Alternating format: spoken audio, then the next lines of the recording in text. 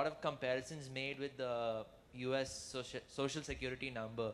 So I would like to know what exactly makes Aadhaar different from that or unique. Sure.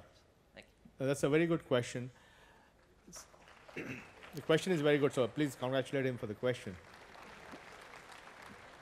Well, you know, the at one level it is the same. It's an ID number for residents of the country.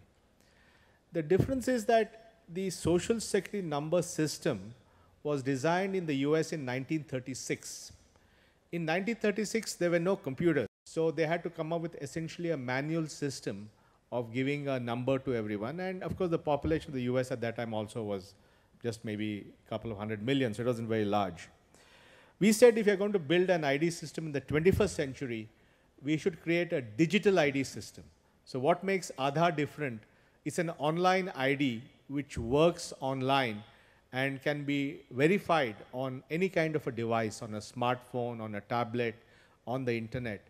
And it's an open platform on which you can build applications. So I think the fact that we built an ID system in the 21st century using an online ID, creating a platform, making it extensible to other applications, that is the big difference uh, from, in Aadhaar from the social security number. Essentially, we have learned from other ID systems and tried to build something that is the best of the lot.